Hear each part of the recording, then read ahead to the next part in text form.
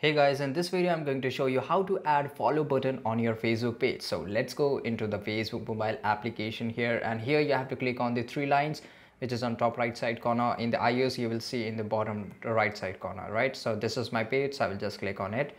And here you can see that there is a feature of like but there is not a feature of follow, right? So just click on the three dots and just come back and click on the edit which is in bottom right side corner. And after that you can see that there is a all the features where you can add and delete all the, these things right?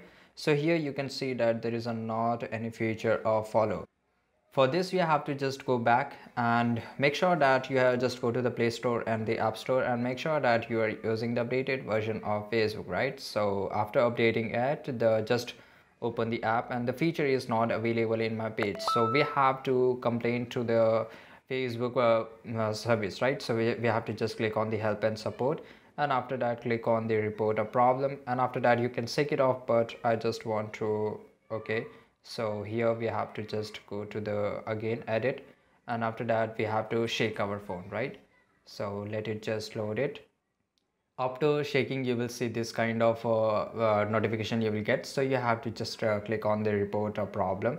And after that you have to include in report. And here you have to describe a problem that i'm not getting a feature of follow-up on my facebook page. So just allow it for the convenience of my followers uh, follow for my page and for my followers and all that. So you have to just explain it, it in a better way. And after that you will receive an email from facebook or service. And then they will uh, solve your problem right? So this is pretty easy guys. I hope you found this video really helpful. And if you did like this video right now subscribe our channel and see you in the next video. Till that time take care. Goodbye